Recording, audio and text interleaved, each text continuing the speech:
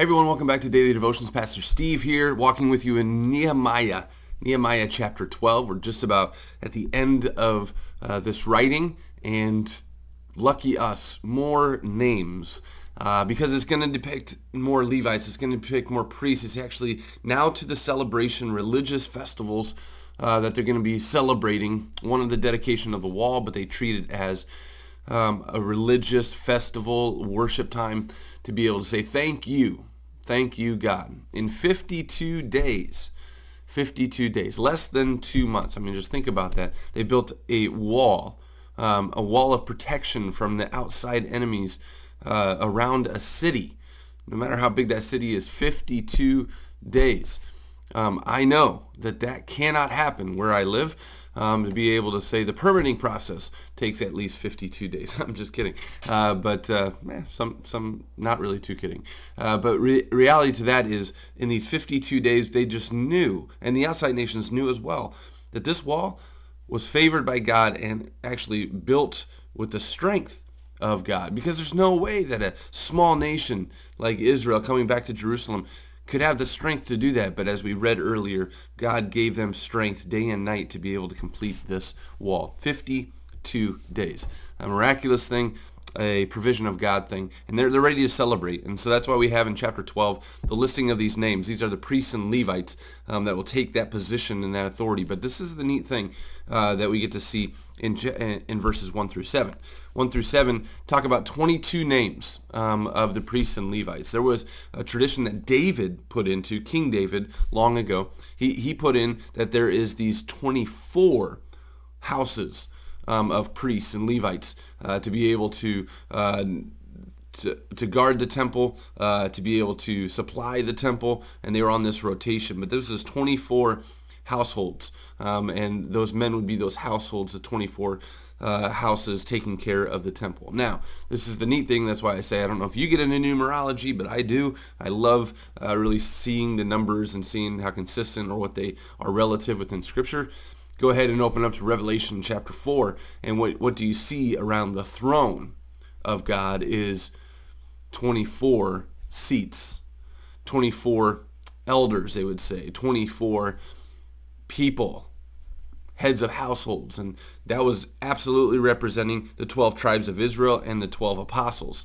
Um, and being able to say, that's what the church, that's what the people of God around the throne of God, the presence of God was built upon. Their foundations, the covenant of uh, the of uh, to the tribe of Israel, and the covenant that God, that Jesus made within that new covenant. Old covenant, new covenant around the presence of God. Well, we get to see here, this was already starting to be laid by God, um, that around his presence, around his temple, are these 24 homes, um, these 24 leaders, priests and Levites, uh, to be able to thank God and worship God and lead that worship with the presence of God. And so um, we get to see that Old Testament, New Testament just feeds off one another. So Nehemiah chapter 12. Here I go. I get to it, right?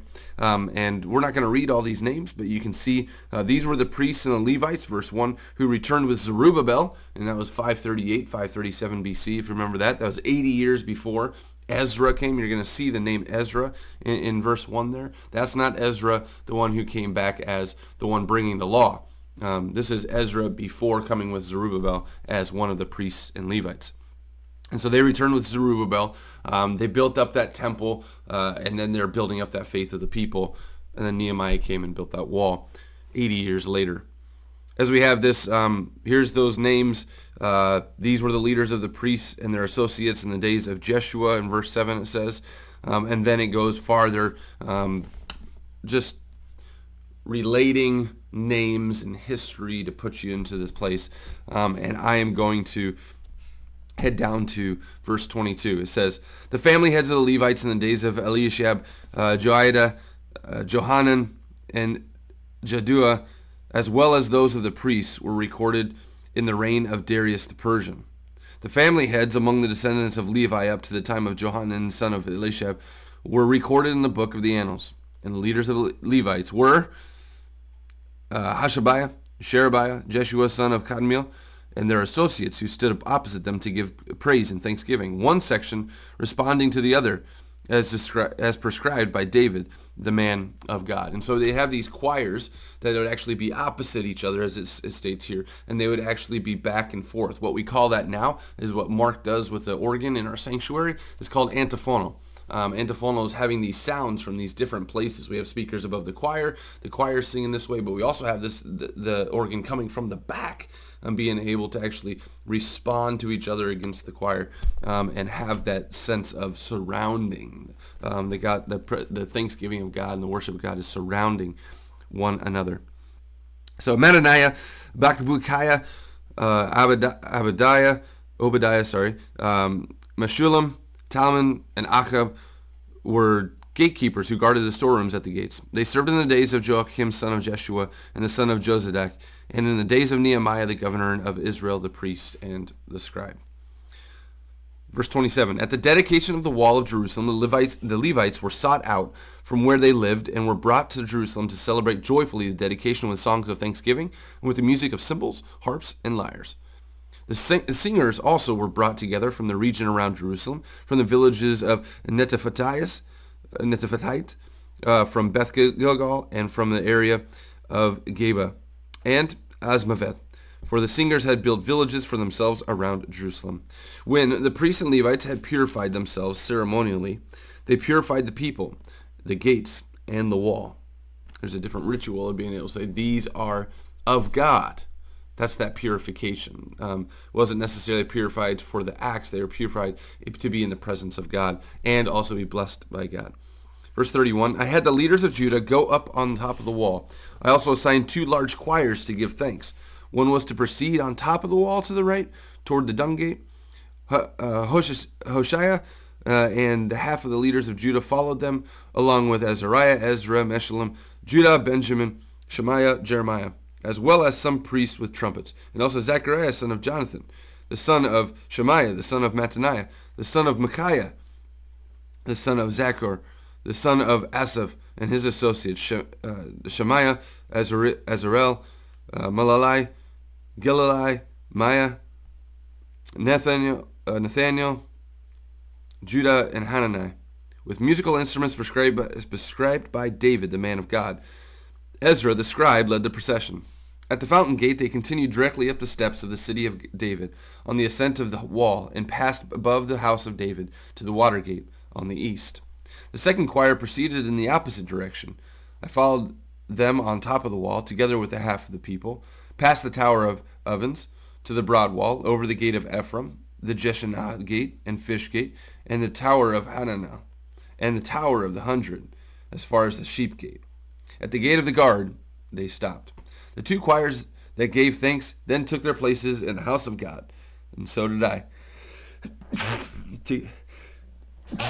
Excuse me. Together with half the officials, as well as the priests.